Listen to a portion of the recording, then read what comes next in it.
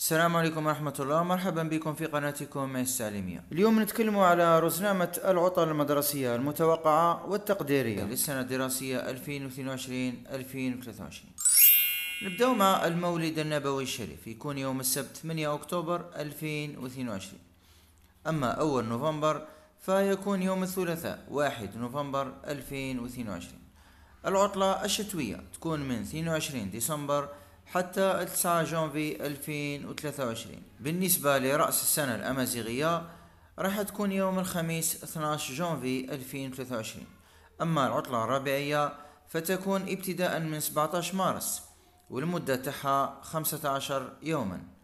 أما عيد الفطر المبارك إن شاء الله يكون يوم السبت والأحد 22 و 23 أفريل 2023 وعيد العمال يكون في 1 ماي 2023 عيد الأضحى راح يكون يوم 28 و 29 جوان 2023 وأخيرا العطلة الصيفية تكون بداية من يوم الخميس 6 جويليا 2023